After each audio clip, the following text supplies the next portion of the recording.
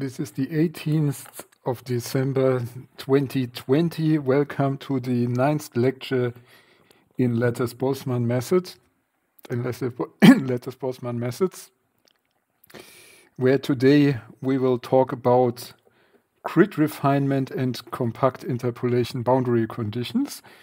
Um, quick reminder for those who did not yet recognize this I re-uploaded lecture seven and eight.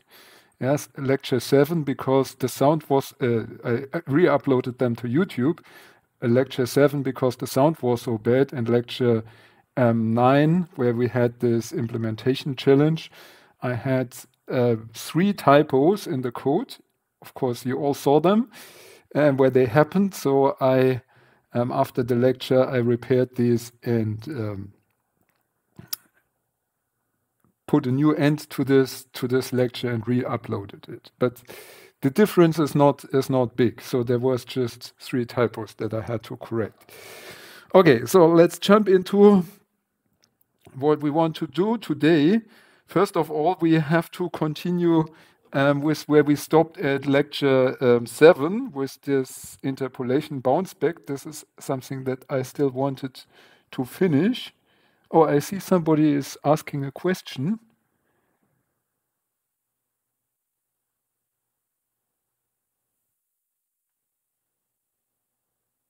Somebody is asking a question, but it's not yet arrived.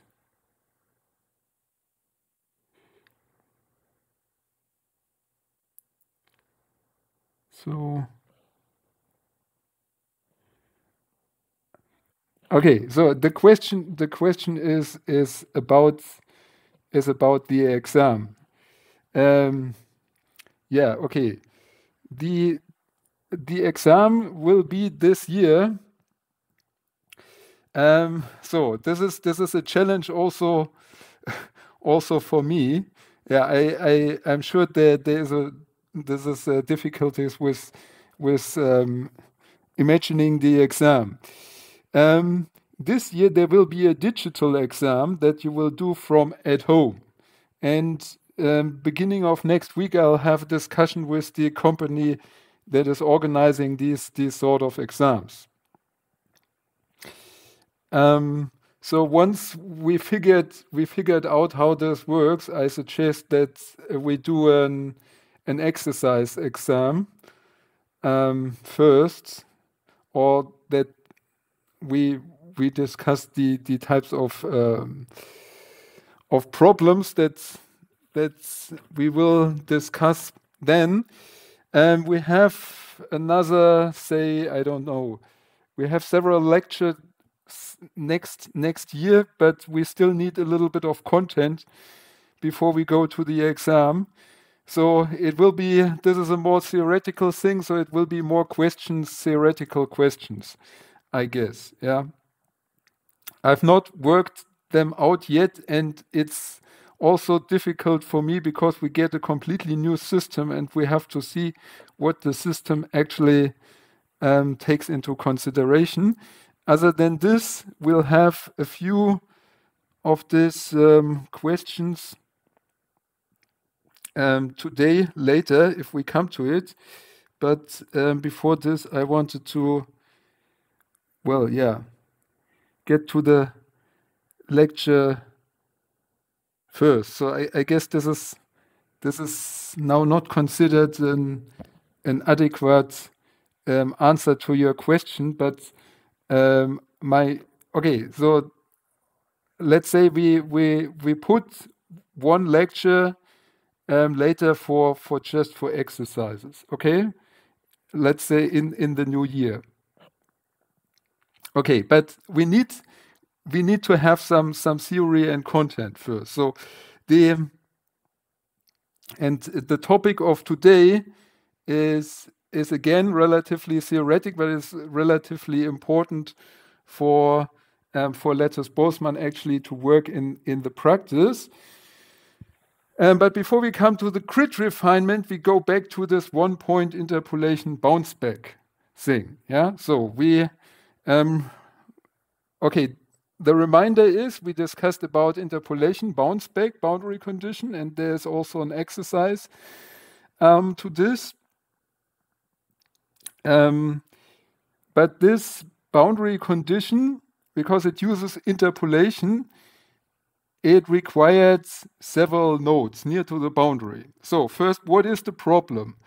The problem is the lattice Boltzmann is a Cartesian grid method, and we want to place boundaries everywhere. So let's look at this at this grid that I that I've drawn here, and um, I have to remind you this is a one-dimensional grid. So what we see in this direction, this is x, and this here is supposed to be time. So this is this is how we draw this um, always.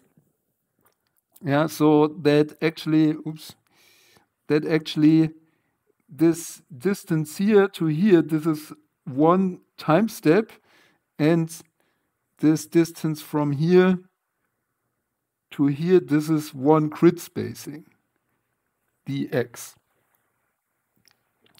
And the distributions, they move they move in space and time. Yeah, so this distribution would move here from this last grid node, which I now, this is, let's call this xn. It will move from the last grid node into a node that is beyond the wall, because this here is my, um, this is my wall. Now, as you see, the wall is not necessarily on a grid node and it's not necessarily directly in between two grid nodes. When it's directly in between two grid nodes, so halfway, then we can use halfway bounce back. This is very simple, yeah? But they are not necessarily there, but they, they can be anywhere. And um, last time we saw that we can solve this problem by interpolation. For this interpolation, we need something that is called a a subgrid distance, and this is the distance q delta x. So this is a subgrid distance. Today, we want to solve this problem also with interpolation, but using only one point. Yeah. So how can we do interpolation using only one point? The thing is that due to the movement of this particle, so um, of this distribution, so if we have here f fi um, if I say this is this is um, pre-collision, oh, uh, this okay. So this fi, this fi post-collision here is fi pre-collision down here. Yeah. So the post-collision state that we have here is the pre-collision state over there. And what we want to know, what of course we want to know is what is um, what is coming into into this node. But what we know from bound, from bounce back is so we know that we can apply bounce back um, at this position here, which we call f wall and I is, I means this is the direction going to the wall and you also have the other direction. So this is F I bar. And this is the one going in the other direction. So if F F um, W I, if this is the pre-collision state, then we can actually interpolate this so say this is at the time t plus delta plus, um, okay, it's not plus delta t, but it's plus, oops. Okay, technique. Um, delta t times q. So this this distance here is not delta t. It's q times delta t, yeah, because it doesn't go the entire way. Here we use now linear interpolation. And this linear interpolation would be 1 minus q f i at xn, as I called it, and the previous time step plus q the extra the um, post collision state at the same um, instance because because if i x plus i um, delta x and t plus delta t, the pre-collision state is the post-collision state here. So this is something that we are using for interpolation, but we always have to take in, into consideration this is not interpolation only in space, it's also interpolation in time. So now when we apply bounce back at the wall, yeah, bounce back at the wall,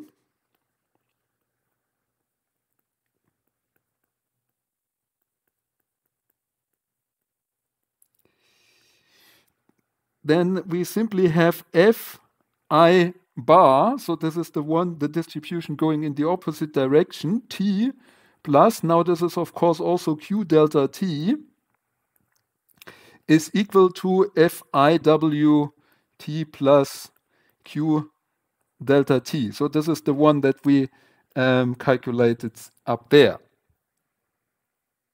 So now we are at this position here, and where we want to go is this position down here. So what we do next is we do an interpolation in space and time. So between, no, this is not a good one. So from here to here and from here to here.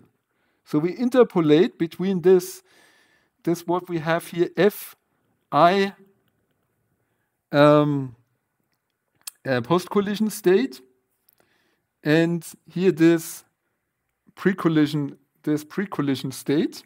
Uh, uh, sorry, and this f. Um, okay, I've not written. Wait. No, I'm mixing up my my my letter. So now this is this down here. This red one down here is getting a little bit small now. It's F W bar. Written it the other way around, I notice. Okay, F I W, and this is this one. So, um, so this is a pre-collision state. We want to have a pre-collision state. The post-collision state, the post-collision uh, state up here okay, I probably not to confuse this, I put the post-collision state up here, and this will become a pre-collision state down there. So this is then um, the incoming, see again in black,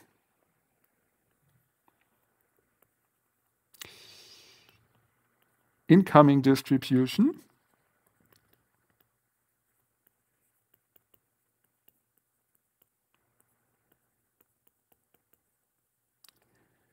At xn, this is then f.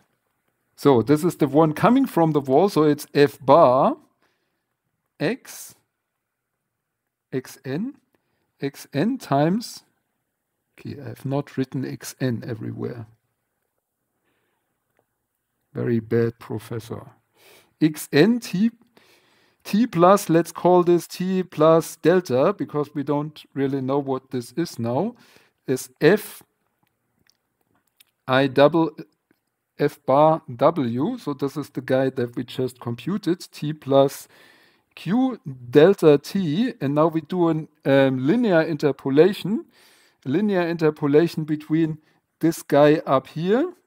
Don't know whether you see it. So this guy up here and this guy down here linear interpolation between these two guys. So the first guy, the the en the entire um, distance between these two points is q plus um, q plus one.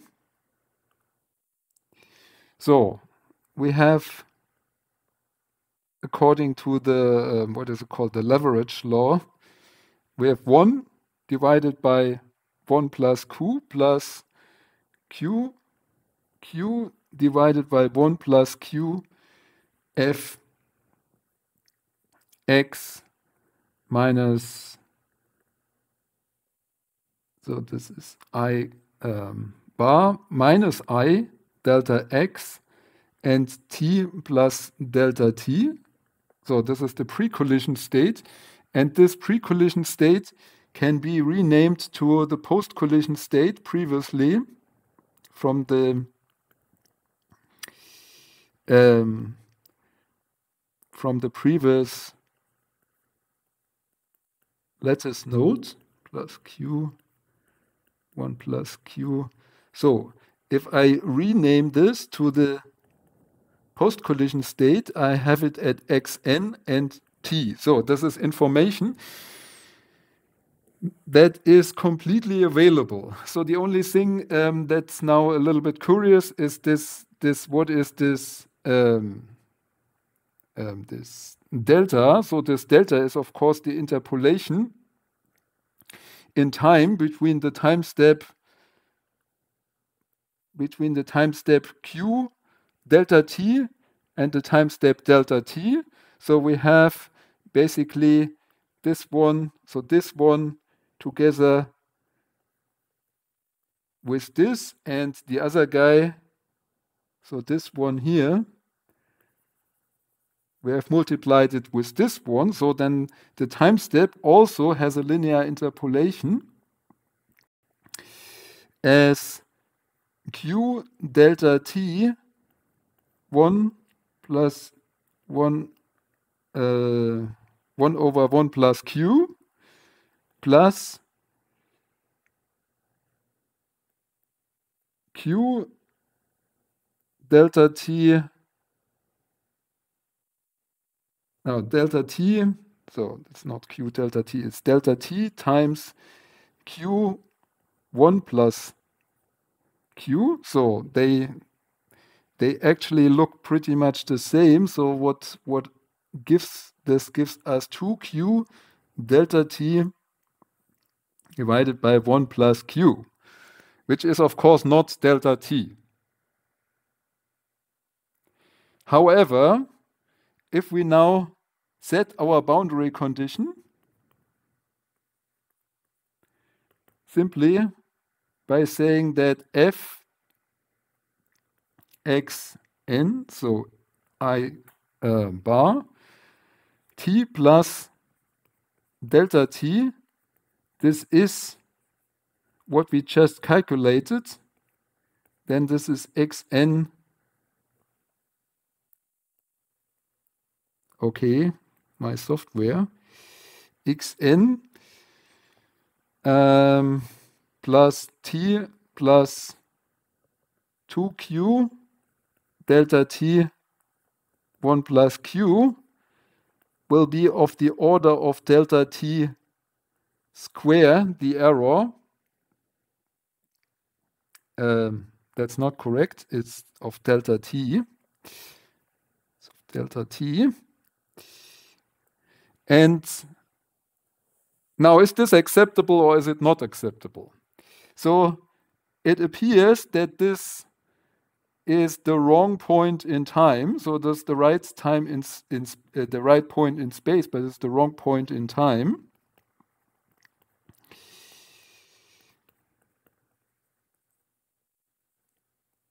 By O delta t. However,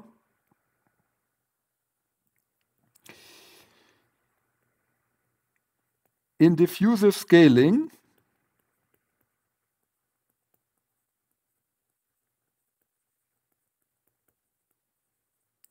as we learned, O delta t is equal to O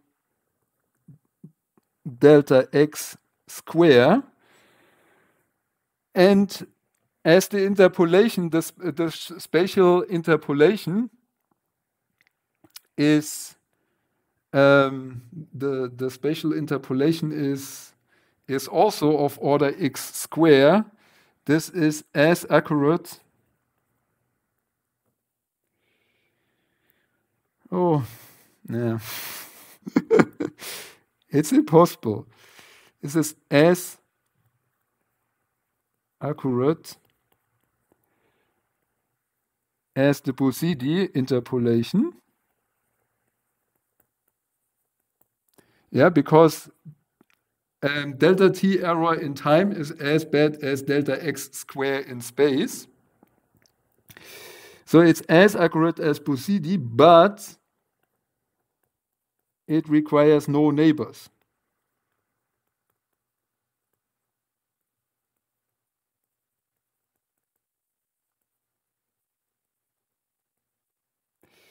So this is this means it's more compact. It does not require neighbors, and so it can be more. It's more easily implemented. Okay, so this is um, this is what we wanted to continue with the boundary condition, and now we come to the grid refinement. The grid refinement is very important in the lattice Boltzmann world, again, for the same reason, um, because we have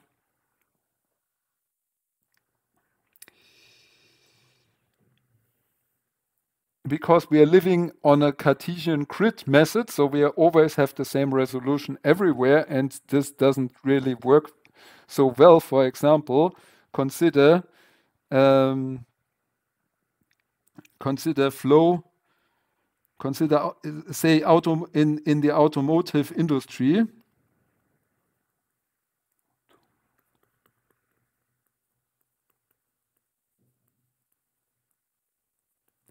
where this is applied a lot. So they require lots of external flow simulation.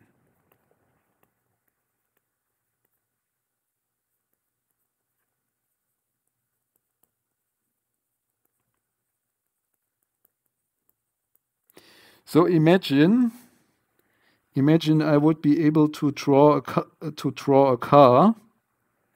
Say this is my car. Doesn't need to be very beautiful now.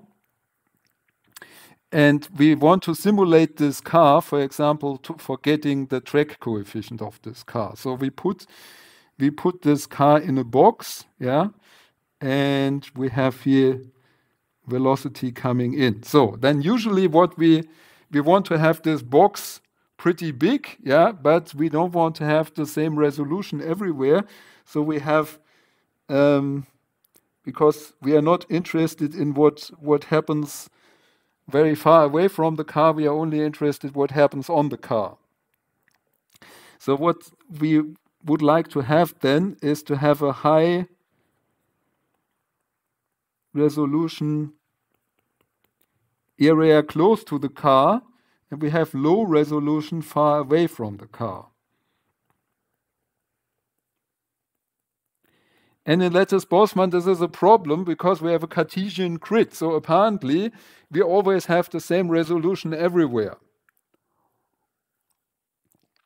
Unless we do this thing, which we call um, which we call grid refinement.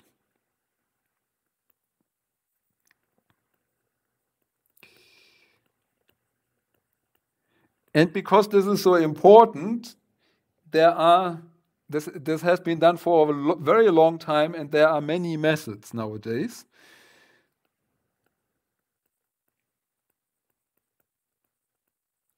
And even though there's a, such an important uh, such an important part of lattice Boltzmann, we can only scratch the surface today.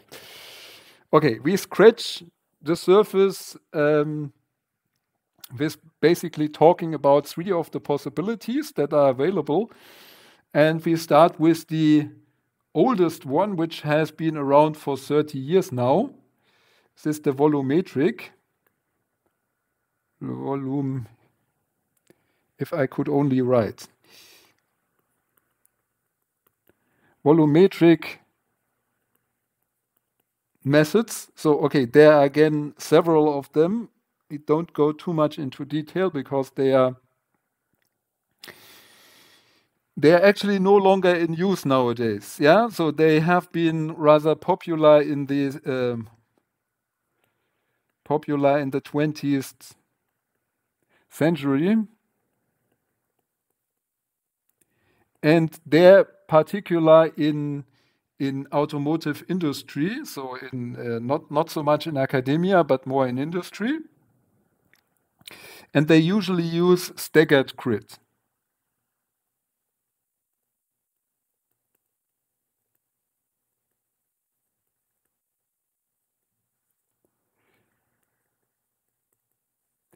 So first of all, it's very important to understand what staggered grids are. So staggered grids means, suppose I have my, my lattice node here and I have another, I have another lattice node here and um, let me see, where did I put it? So, so one here, one here, one here, one here, one here. And suppose this is my coarse grid. Yeah. So the understanding here is now in volumetric methods is they they assign a volume to a node. So this volume here, this volume here is connected to this node and the this volume down here is connected to the next node and so on and so on. So this is again, so this would be connected to this node. And if you want to split now these this um, this coarse lattice, as we call it, to a smaller lattice, yeah, we would we would cut these boxes. So we would put here four new boxes like this and new nodes would be here and here and here and here. So this is what we mean by a staggered grid. Yeah, so the fine grid is not directly on the on the coarse grid, but it's uh, it's somewhat displaced. This is called a staggered grid. So and now the first volumetric methods for lattice Boltzmann simply used two methods to couple um, grids of different resolution where the difference in the resolution was always a factor of two. Yeah, they started with, um, say, with a coarse node. They had this coarse node where we consider now the two-dimensional D2Q 9 case. So this was my node, and this node has nine distributions in the different directions, and we want to have this in in finer grid nodes. So we have such a lattice here. Sorry for my ugly drawing.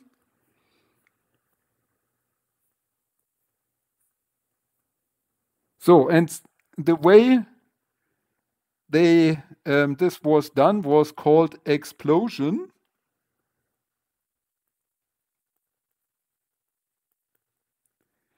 So the one grid node would explode, yeah.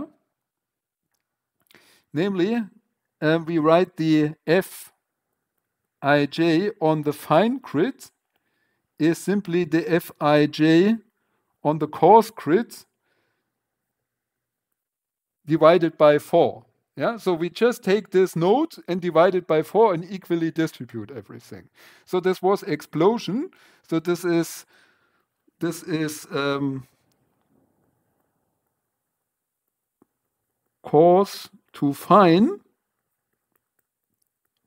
And there is uh, the other way, this is called collapse, or at least I think it was called collapse. I not completely sure.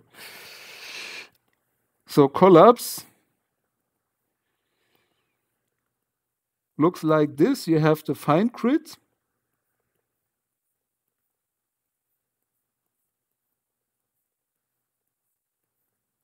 And you want to go to a coarse grid in the same location.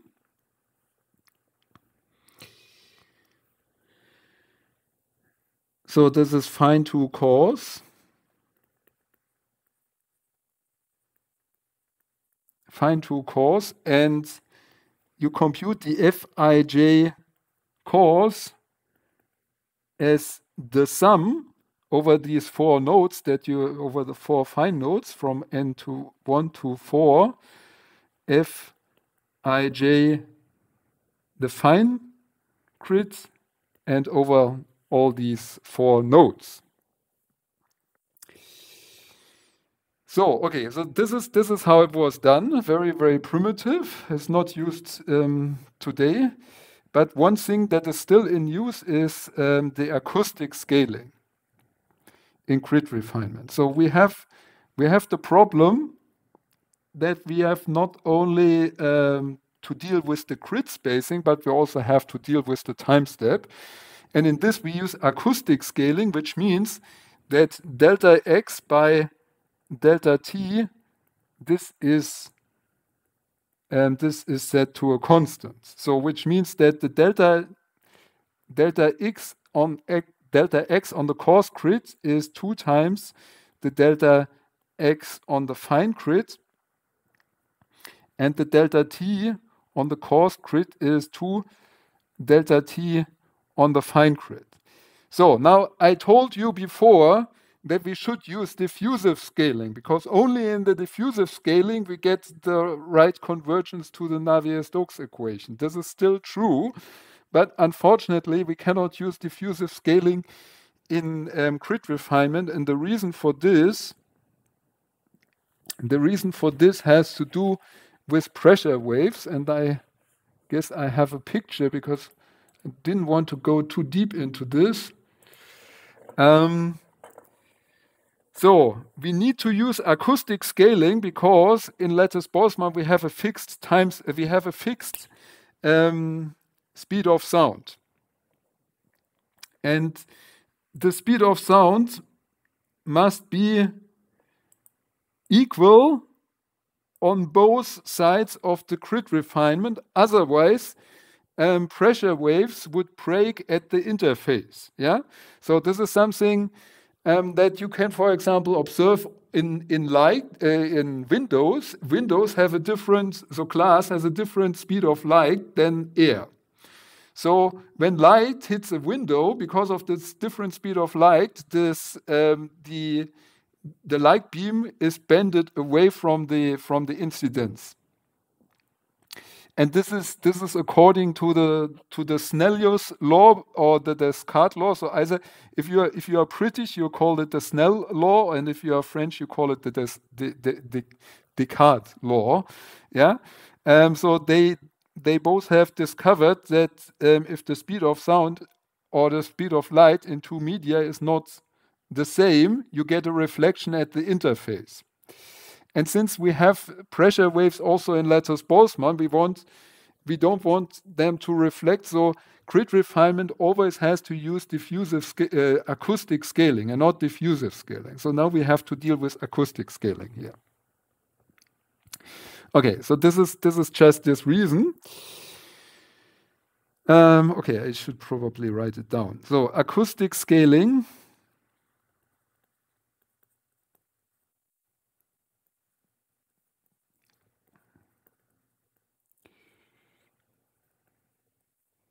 used in grid refinement.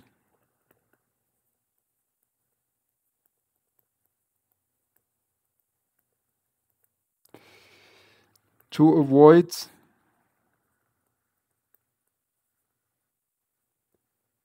reflections of sound waves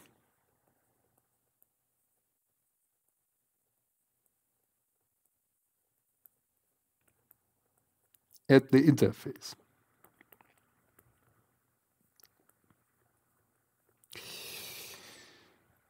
Okay, so now since we used acoustic scaling, we have a different um, we have a different relaxation rate in this different grids, and this relaxation rate has to be scaled.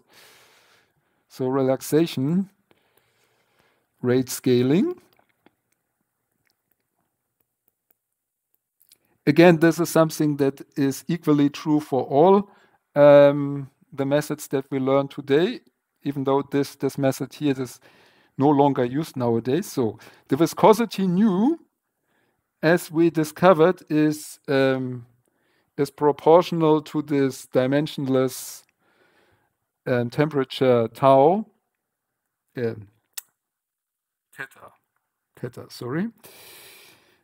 1 over omega minus 1 half delta x square divided by delta t. So in diffusive scaling, this would be um, this would not be a problem because in diffusive scaling, this this thing here is constant, but in acoustic scaling it is not. So we have to distinguish between the um, the coarse and the fine thing, and in both grids the viscosity should be the same. Yeah, so we say that theta um, 1 over omega in the coarse grid minus 1 half delta x uh, delta why do I never write what I'm saying? Delta x delta x cos square by delta x uh, delta t cos. Yeah, this is supposed to be the same as theta 1 over so omega in the fine grid denoted by f times delta x on the fine grid square by delta t on the fine grid. So, and then we transform this, I write this as 1 over um, omega f. So because this is easier to write, we have delta x c square delta t c times delta t f by delta x f square and all of this times 1 over omega c minus 1 half and this plus 1 half. So this here, as you can imagine, so this here is 2. And if we do it the other way around, it will be 1 half. Yeah? So, okay, we have to scale um, this um, this rate between the different um. What we do not need to scale is the velocity and the pressure. In diffusive scaling, this is uh, in acoustic scaling, sorry, in acoustic scaling, we do not need to scale velocity and pressure. Okay, so now what to say about the volumetric refinement? Volumetric refinement.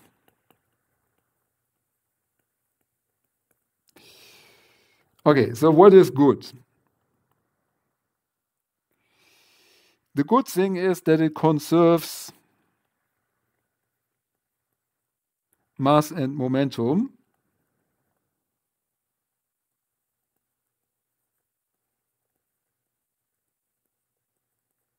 And I have to tell you, it's the only one of the methods that actually does this.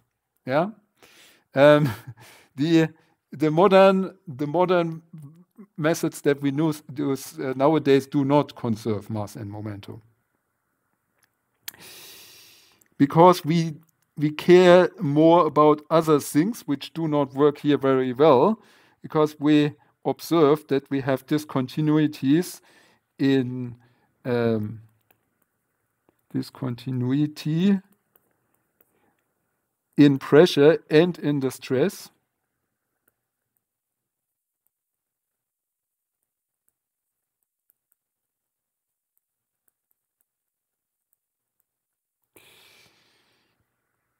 And we also observe that this is highly dissipative.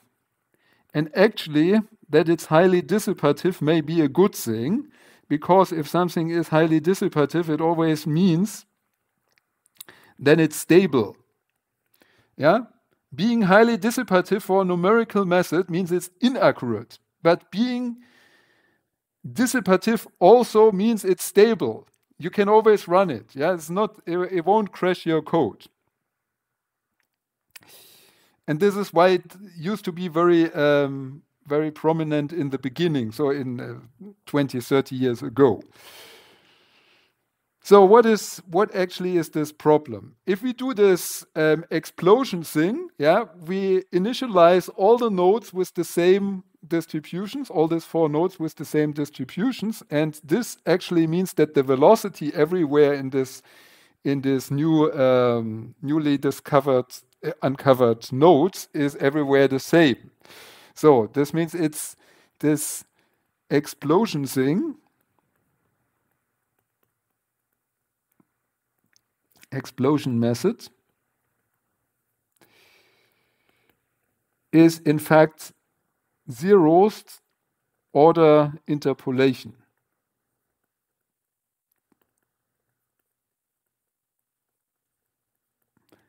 And this turns out to be the big problem because this is not accurate enough. Now comes the question what, what order of interpolation is actually required?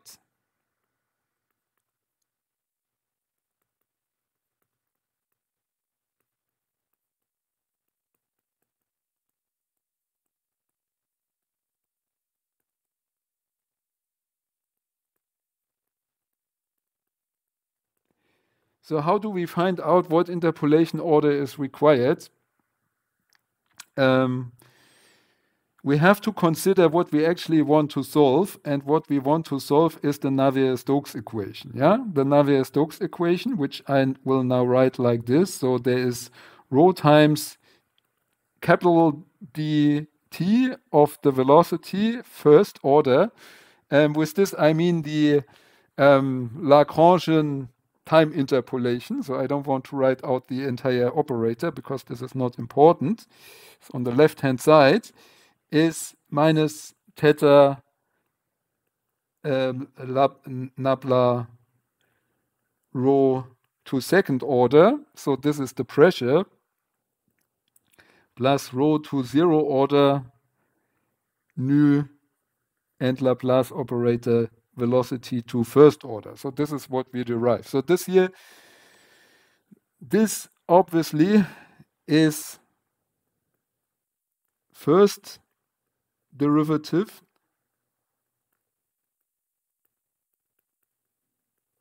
and this here is the second derivative. So first and second derivative. So if if we have zero order interpolation, meaning we we set everything in this newly discovered um, all the the four nodes in this newly discovered um, in in the explosion method, we set them to the same value. So we do not recover the right gradient. Yeah. So for recovering the right gradient, the right first order interpolation, to have a first order interpolation, no, to have a, sorry, to have a first order derivative, we need at least a linear function. So for, for this here, this requires the first derivative requires at least linear interpolation.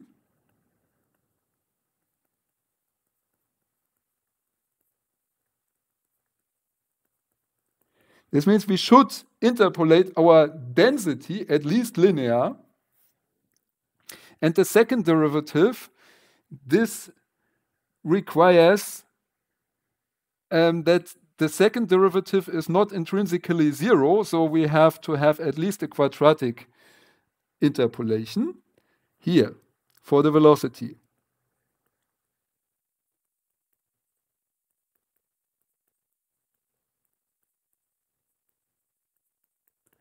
Okay. Linear inter at least linear interpolation for the density and at least quadratic interpolation um, for velocity. Otherwise, we have no consistency with the Navier-Stokes solution. And this brings us to interpolation methods. So, interpolation methods.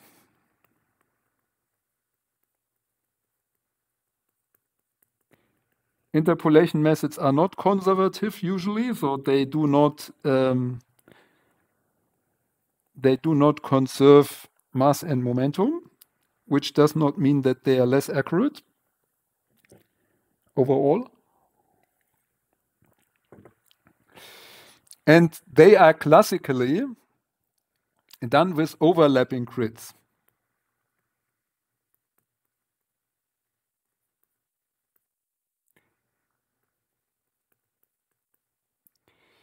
So the arrangement looks different here.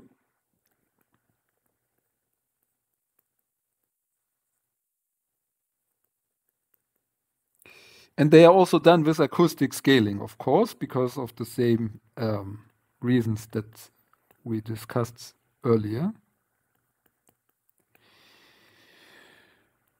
So what does overlapping grid mean? So suppose we have this coarse grid here, and on the left hand side we have a coarse grid, and on the right hand side we have a uh, we have a fine grid say this is our fine grid, then overlapping means that these nodes are directly on top of each other. Yeah, and these the ones here, they of course they require interpolation. So a node like this, nodes requiring interpolation.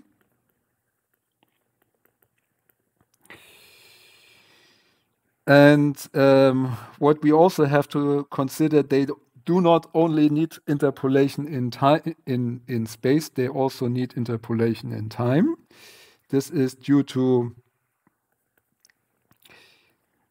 delta t c is equal to 2 delta t f means that temporal interpolation is also necessary.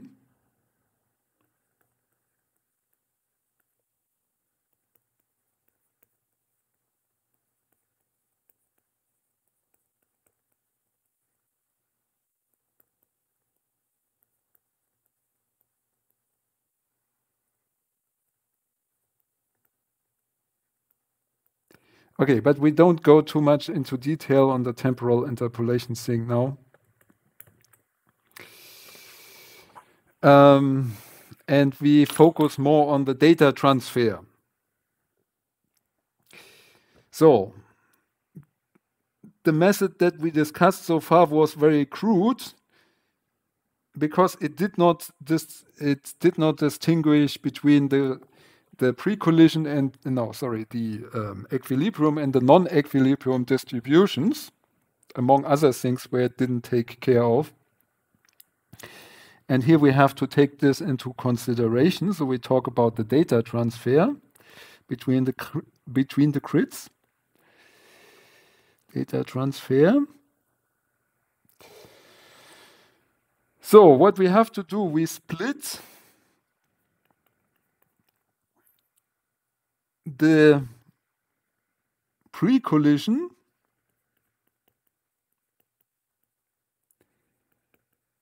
distribution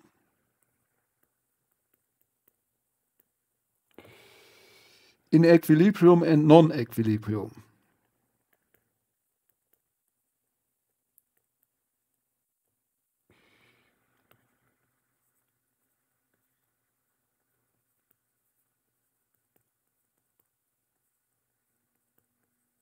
And we interpolate these two um, separately.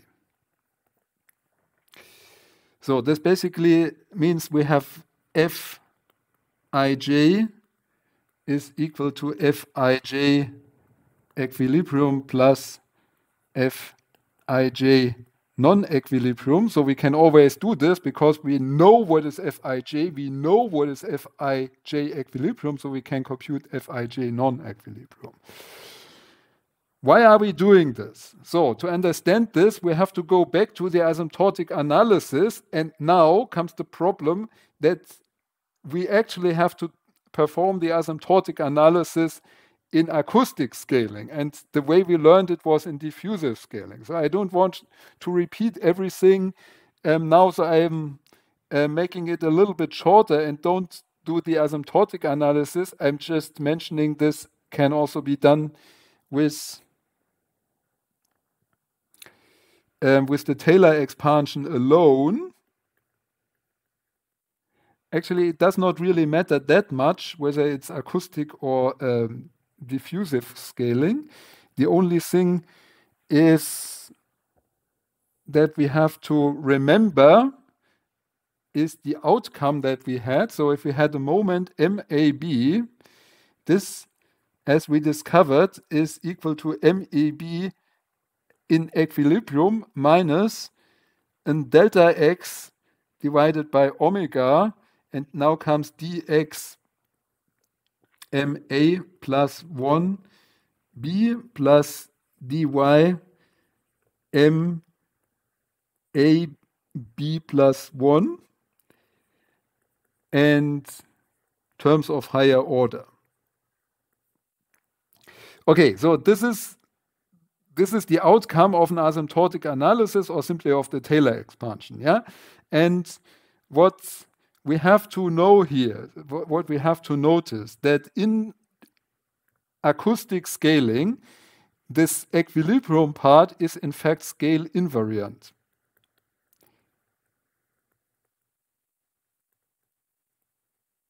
Why? Because it contains only the velocity. And the velocity, okay, it depends on the velocity and the pressure. And the velocity and the pressure are both in acoustic scaling scale invariant. So in principle, this guy back here should also be scale invariant. But we have a scale bearing thing in front of it. This needs scaling.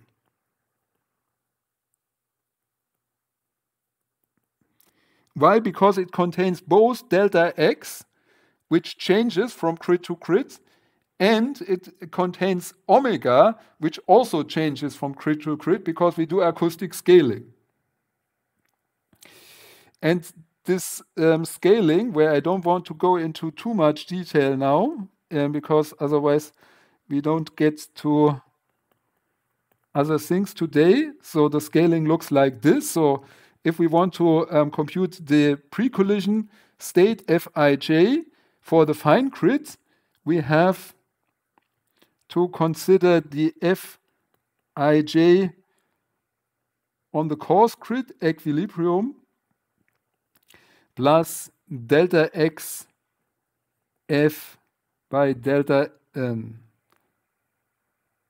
Okay, now I want to write it in a different way. Delta x f so the fine grid delta x, the omega on the fine grid times omega on the coarse grid uh, divided by the grid spacing on the fine grid times the non-equilibrium part at the coarse grid. And obviously, the other way around, Fij coarse is Fij fine equilibrium plus uh, delta x on the coarse grid divided by omega on the coarse grid times omega on the fine grid divided by delta x on the fine grid, f fine grid non-equilibrium. So, and if you ever come across this, um, the pre-collision scaling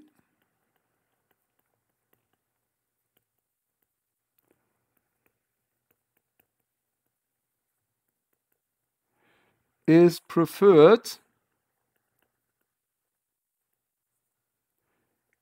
as the post-collision scaling has a singularity.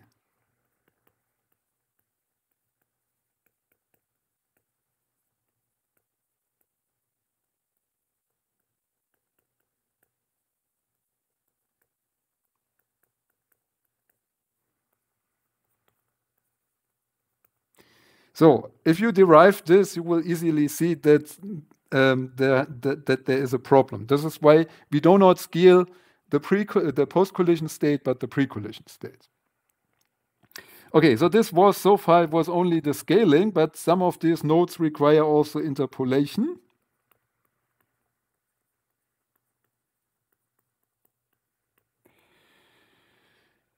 And these are the hanging nodes. So we're talking about the uh, interpolation of the hanging nodes.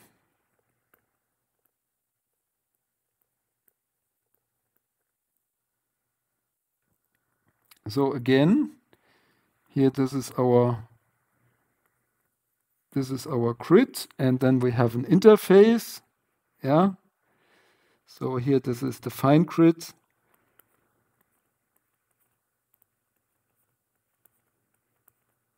And here are interface nodes. So this is our hanging nodes. They are hanging because this node has no neighbor on, on the left-hand side.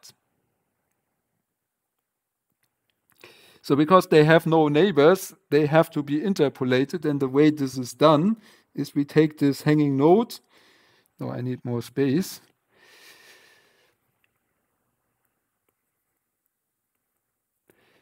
So if we have this hanging node here, and we have a coarse, a coarse node here, and no, we don't have a coarse node here. We have hmm, a coarse node here, and we have a coarse node here, and a coarse node here, and we have a coarse node here. So this is the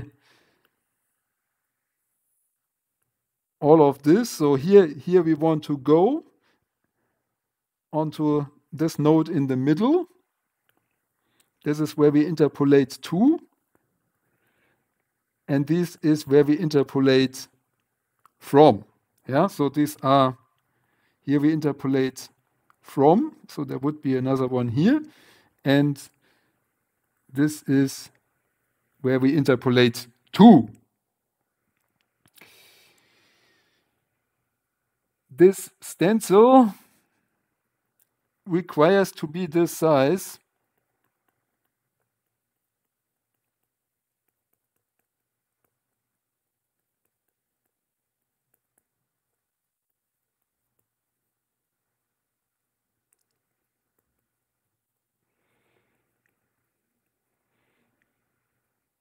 So this is the interpolation stencil required for quadratic interpolation. You can actually do cubic interpolation with this guy. However, you also want it to be um, symmetric. Yeah, because if it's not symmetric, it doesn't give you a second order accurate result.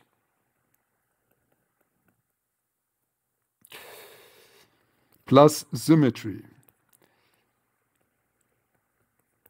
So you have a relatively large interpolation stencil. So, but the good thing is you only need to interpolate these hanging nodes apparently. So other nodes, so the ones that are not hanging, apparently don't need interpolation. You recognize that this is not true, yeah? And the way I'm saying it require no interpolation.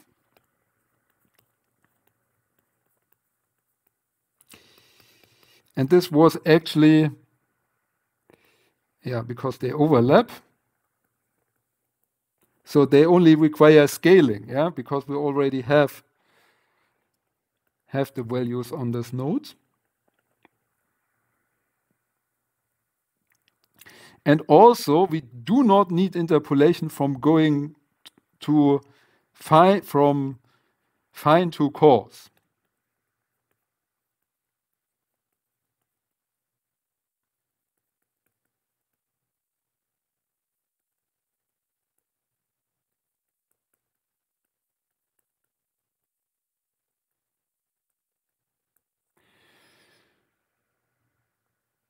And this was originally considered to be an advantage of this method over the volumetric methods.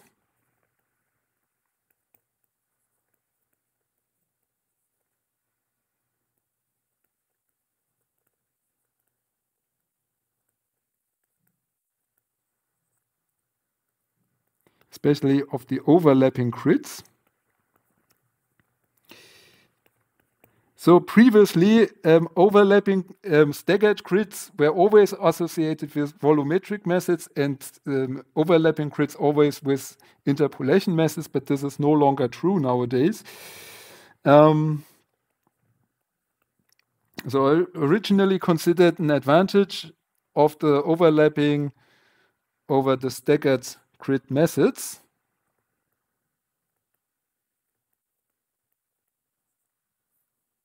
Configurations.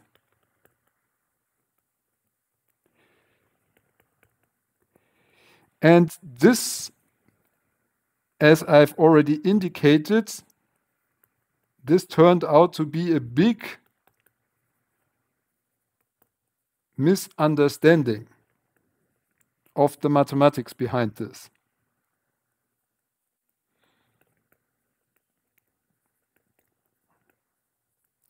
Yeah. Basically, what was discovered is that if we go to turbulent flows, this doesn't really work. So I have a picture here from my colleague um,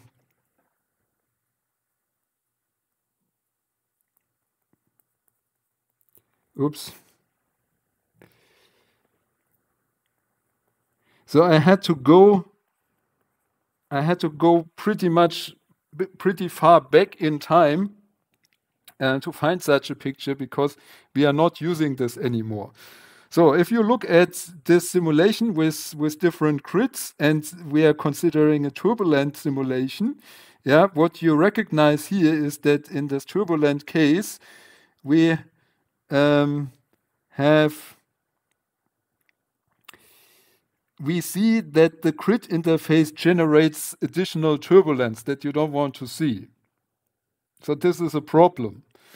And to understand where this problem comes from, we have to dig a little bit into the mathematics. So, understand.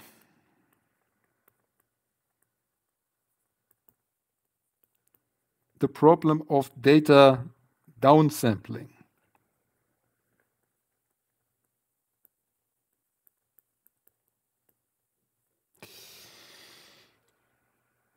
So I hope you are familiar with um, um, with the um, Fourier transform, and in this particular, with the Shannon or Nyquist theorem.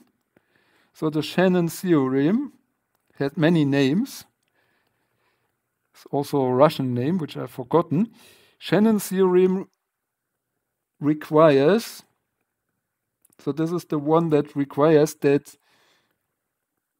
data to be band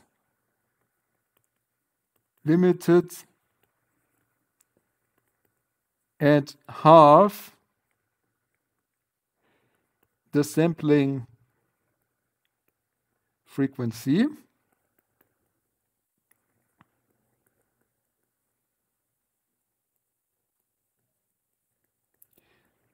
to avoid aliasing. And aliasing is here a very bad thing. It's not a little problem, it's a really bad problem. So, what does it mean?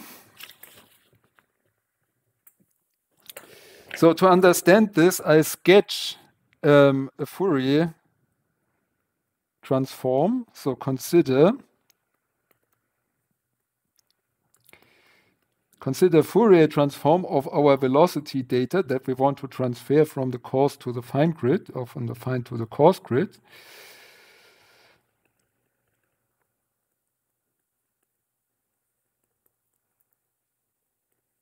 Discrete. So Fourier transform of discrete data points.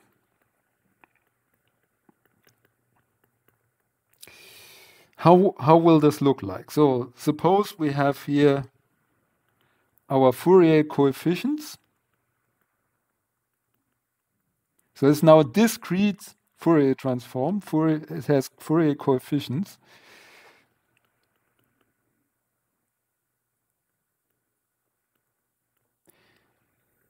And down here is the frequency.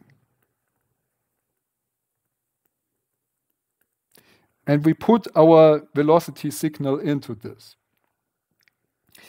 So then we obviously have a sampling frequency, f, sampling frequency of the fine grid. Yeah, say this f is the sampling frequency of a fine grid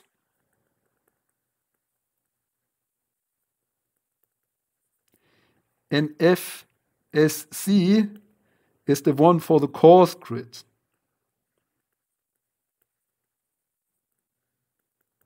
So, and of course, F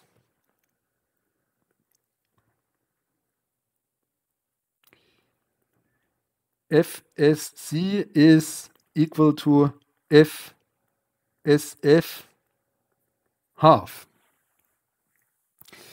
So if you have a sample, so there's one, two, three, four, five, six, seven, eight. So one, two, three, four. Okay, so here, here we have the frequency SF half, which is also F um, FSC.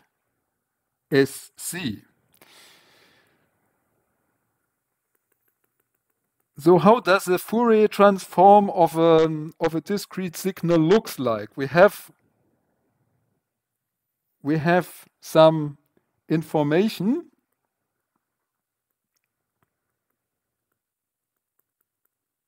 And all the information is on the is is down here on the left hand side. And on the right hand side we have the same picture. So it goes it absolutely goes the same way.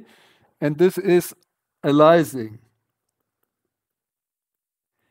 so we have a mirror image of um, of the information in the upper half of the spectrum. This is always the case for a discrete Fourier transform. So now if we downsample simple, okay, say we downsample and we have here FSC half. So if we downsample, then we have this um,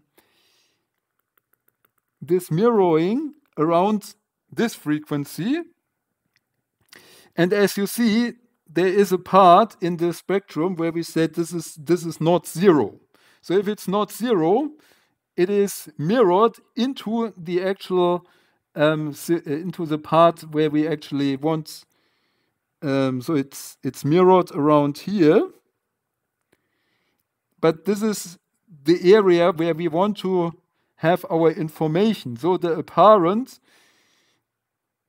Okay, say this is this will also go up to here. So what what we see, what we actually get out, yeah, will look like this.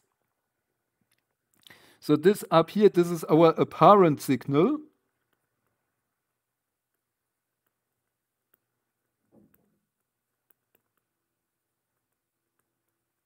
And this has now completely messed up because it has been messed up because here was not zero. The, the, um, free, uh, the um, signal was not band limited. Okay, let's, let's write this down.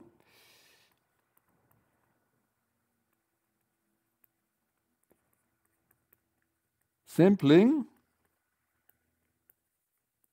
produces spurious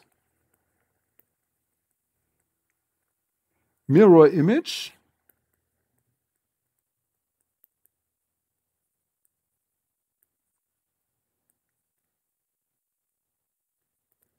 at the frequency f, the sampling frequency SF half. And this means the signal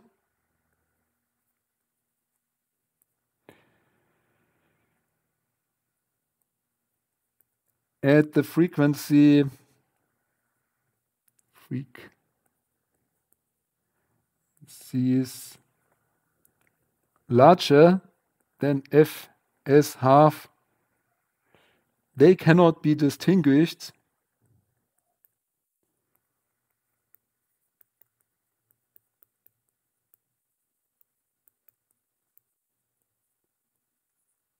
from the mirror image. So this is the problem.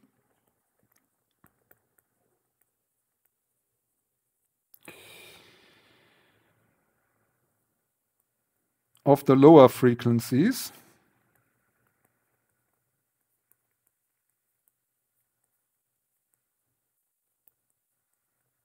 And this leads to aliasing.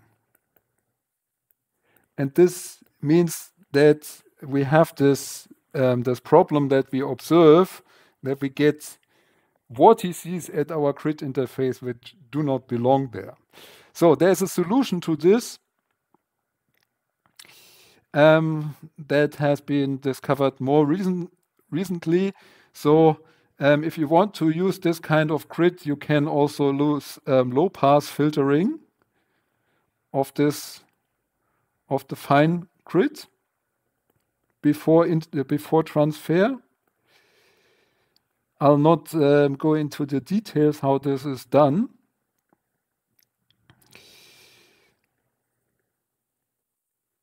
Basically, because I believe that is actually stupid. Yeah, so because we already have a solution to do this, and um, okay, but some people um, do it this way. Why was this invented in the first place? It was invented in the first place because laminar flow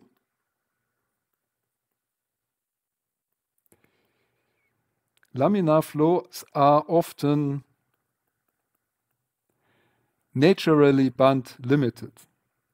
So you don't have these problems with laminar flow. So your method without low pass filtering um, works with laminar flows. But they don't work with turbulent flows as we've seen.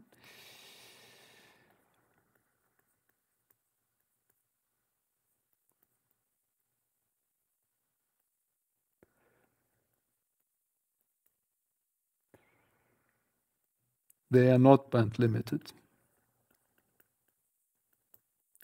And then this method simply doesn't work. So, fun fact is that staggered grids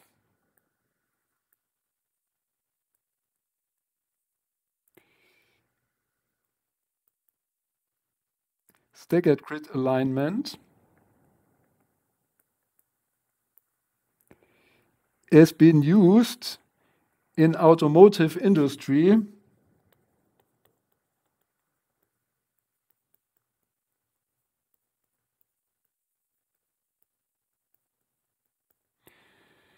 For turbulent flows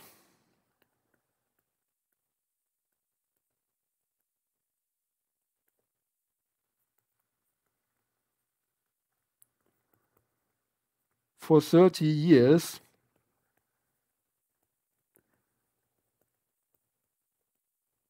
without filtering.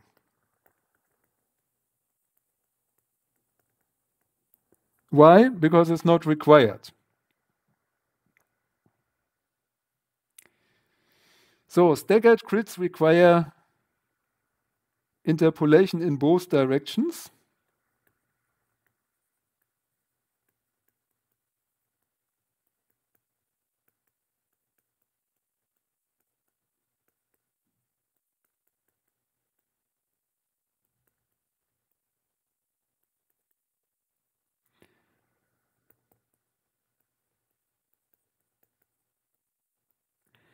And interpolation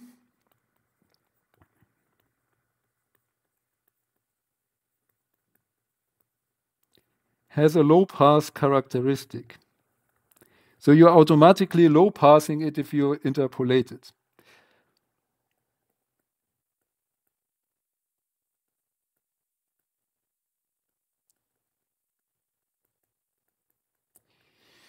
Okay, so now we've we've seen there is there are these staggered grids. Yeah, they they don't have this problem with turbulent flows, but they are um, they are very inaccurate because they do not interpolate properly.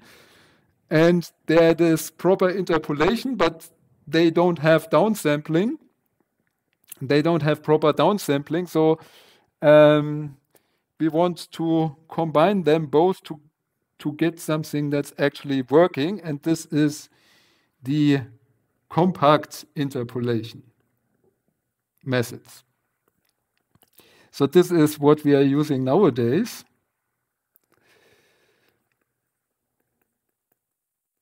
Compact interpolation. So first, why, why compact interpolation? So the problem, what is the problem? Now we have to interpolate everything, yeah? And we have to interpolate the velocity at least with a qu quadratically. Quadratic interpolation.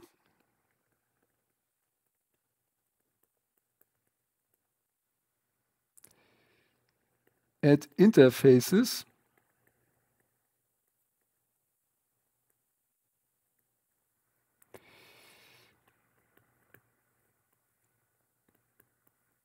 requires large stencils.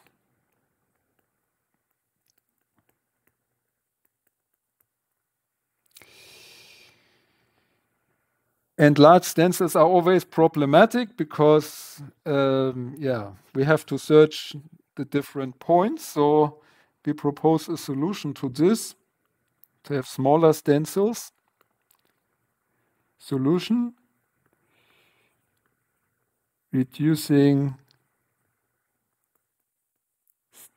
stencils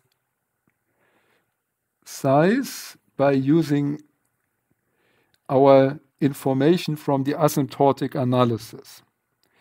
Okay, asymptotic analysis is difficult. However, if you learned it, you can do clever things. And if you do not learn it, you have to be stupid and do um, yeah. and and you have to do it in a less efficient way. So suppose we have um, this here as an inter as what we call an interpolation cell of a coarse to fine grid, coarse to fine. So which means there needs to be a fine grid inside like this and we have a coordinate system like this in this. And then we also have oops.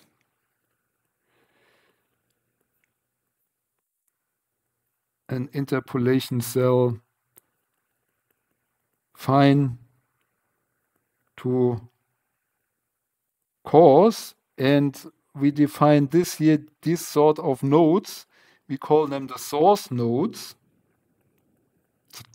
So this is where we get our information for the interpolation from. And this here is the destination node.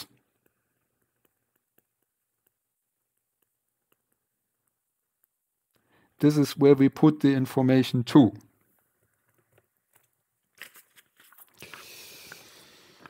Okay, so now, what information do we have? So we always have four source nodes, yeah?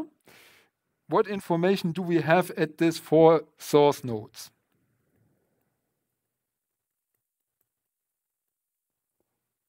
Information at source.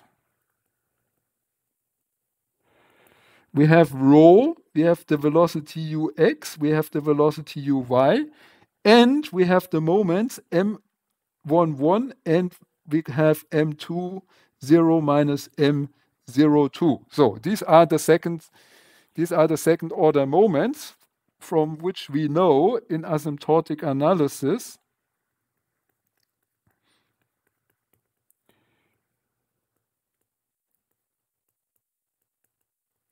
asymptotic analysis that M11 minus M11 equilibrium. So this is something that we got out of um, divided by rho. So this is something that we got out of our asymptotic analysis. So we did this to second to second order.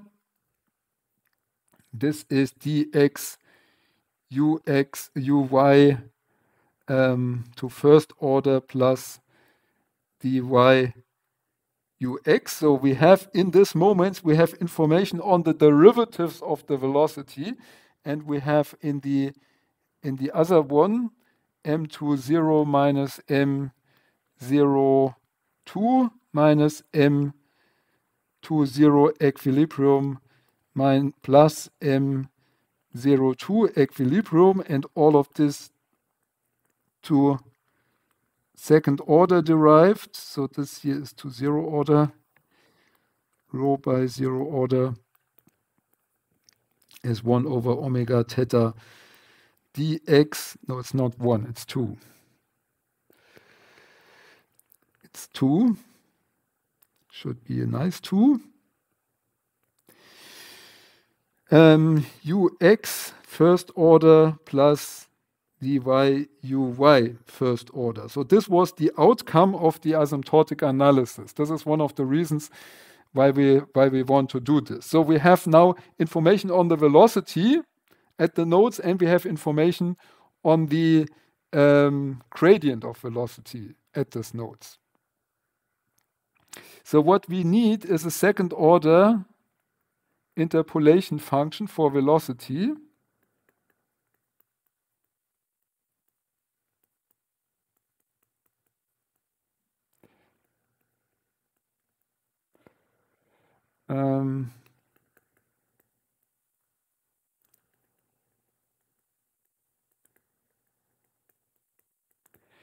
So this we define as ux in x and y.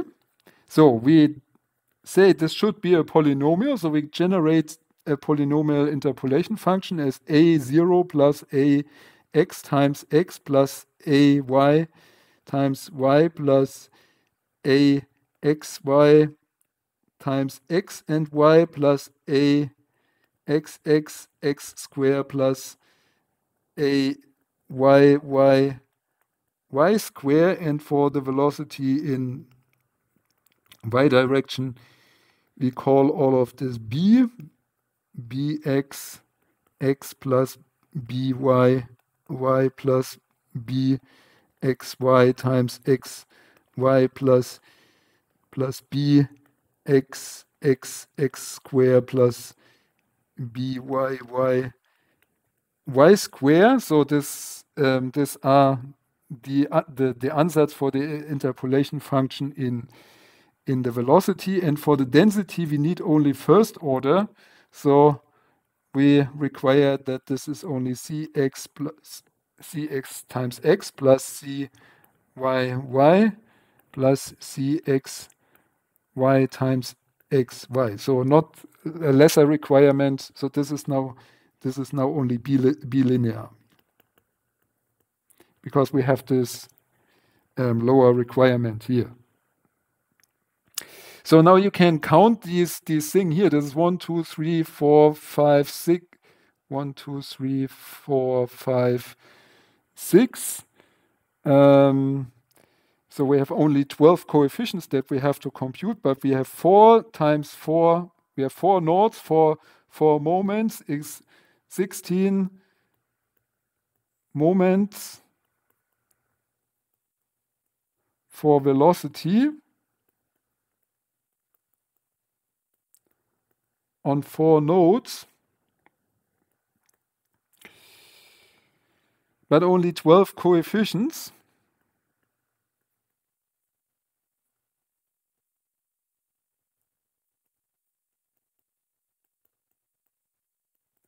So this took some time to um, in the equations. So now this took some time to figure out what how how to deal with this. So we um, decided to. So uh, first of all, we have an over-specified system.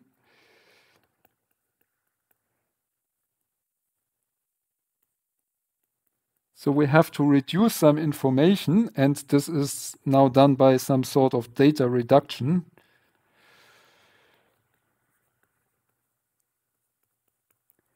Where we only take the derivatives of the second order um, moments into account by finite differencing. And the finite differencing stencil we are using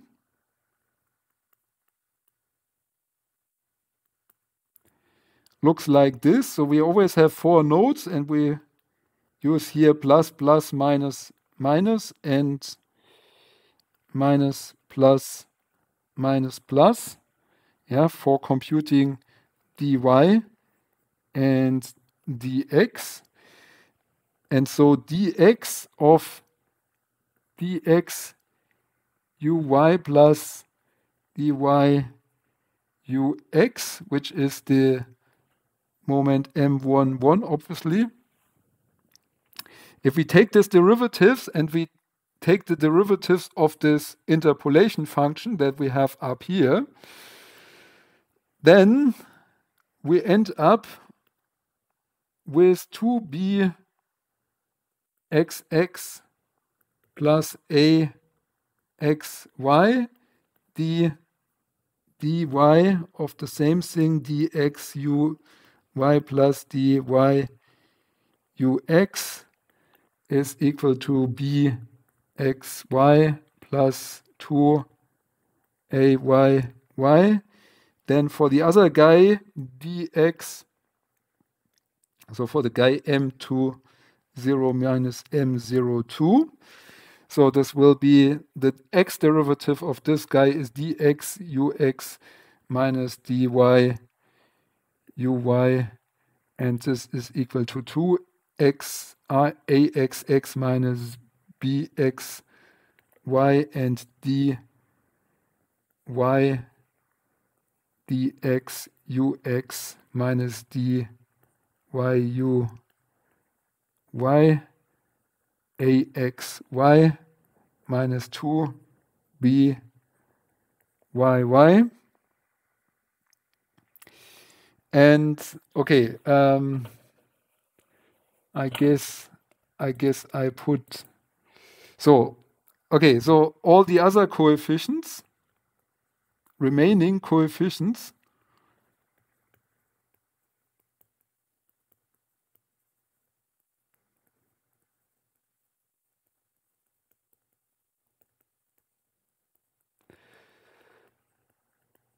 from velocity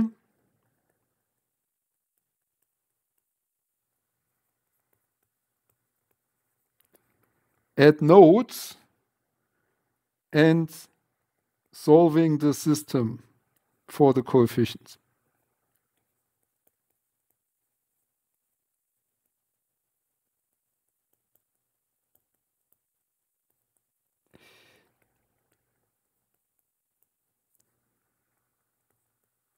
Especially in three dimensions, this doesn't look very encouraging, but you get an equation out and then you can simply implement this.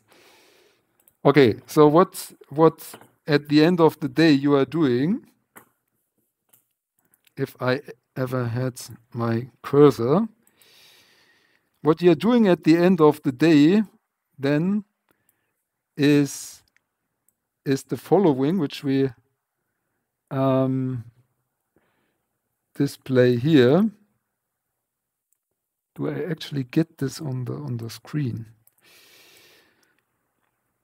Okay, so you start, you have your grid interface and say everything, everything is in the right um, situation. Then you run one fine time step in which you lose one line, one line of nodes, of fine nodes here, and then you run another fine time step after which all these nodes are invalid.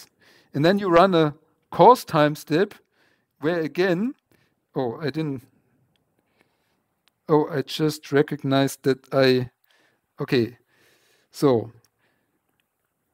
these two are these two are in the wrong direction so i have to repair this picture um, yes so okay so this is this is number this is number one this is number two, then we do number three, and then we do number four. So, okay, no, no such no such errors here. Sorry for this misarrangement. So we go, we do one time step. Uh, yeah, so. After one fine time step, we lose one line of, of these fine nodes. After a second times fine time step, we use another line of these fine nodes, and then we do a coarse time step where we lose also this, these other nodes, they become invalid, and then we do the interpolation between these crits nodes, and so we do not need time interpolation. Okay, now I've speeded up again, as always. Um, I guess I will put these because we are now running out of time. Um, there was this, this question for the Bouzidi boundary condition where you had to derive the interpolation functions, the linear interpolation functions for these two um, for these two methods. Yeah, for the one that where q is smaller than one half and one where q is larger than one half. Should have written this correctly. Delta x q um, so this is simple linear interpolation that you just gain from um, from uh, yeah uh, from the picture. So this is this is the solution. Maybe because we're running out of time, I'll just put this in into StudIP. Yeah, and then um, I guess the other the other questions we discuss in the new year. So then now, sorry for, as always, taking over time. I know that I'm bad at keeping my time. Um, I wish you all the best for 2021. Yeah, we will will have the the next lecture, I guess, in the week in the week of the 10th. I don't know why this is showing up here now. Um, next lecture will be, due to the closing of the university, will be on Friday the 15th of January at 9.45 Central European Time. Until then, see you.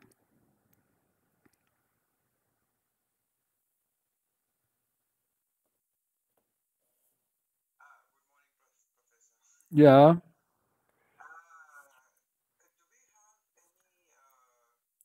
Okay, so there was a question for those who are still listening in, in, in YouTube. In YouTube, there was a question whether we have a date for the exam.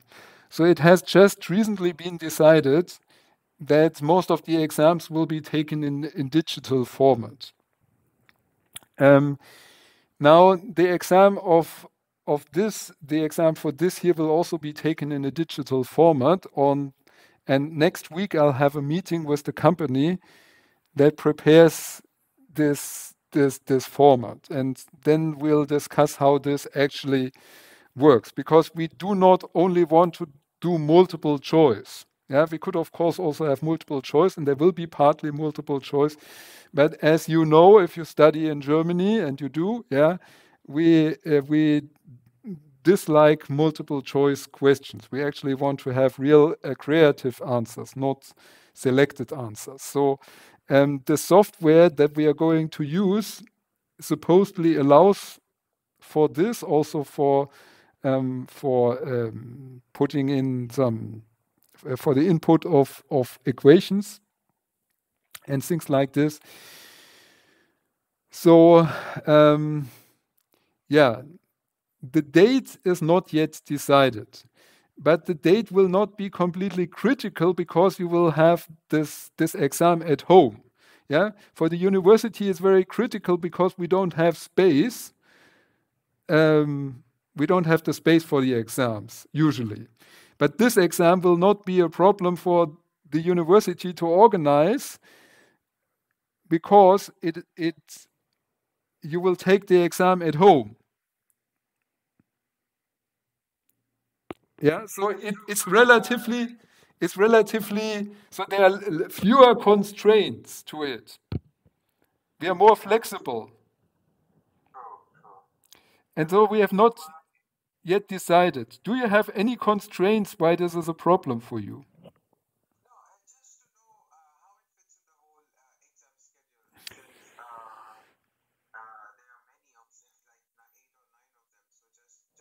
Yeah.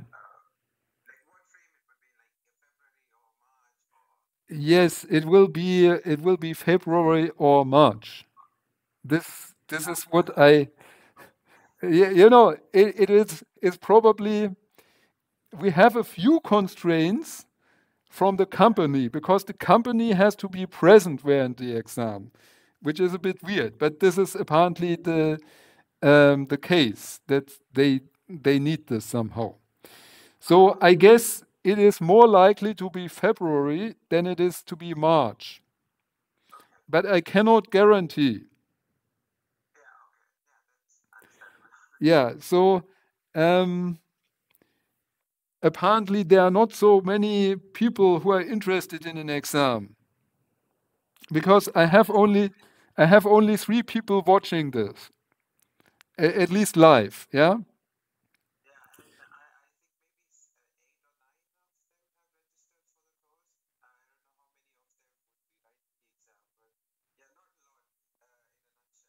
Yeah. So I'll I'll end this this stream on YouTube now.